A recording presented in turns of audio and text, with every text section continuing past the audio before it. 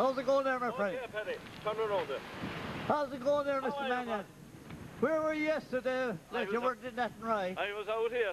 Ah, out here. You weren't out here because I, was was up here. here as I well. I was up here as well. I'll road, show Billy. I was and all day. Ah, clear that.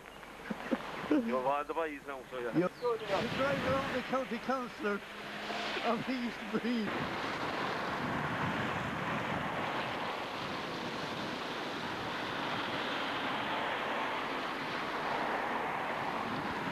Hello there, my friend. Were you there all night? Almost. Almost. Well, I hope the, the P, Awful flood. I hope the P wasn't in that right yesterday at 9 o'clock. The cars couldn't pass Yeah. there below, below the mark. Sorry. Yeah. Small cars had to turn.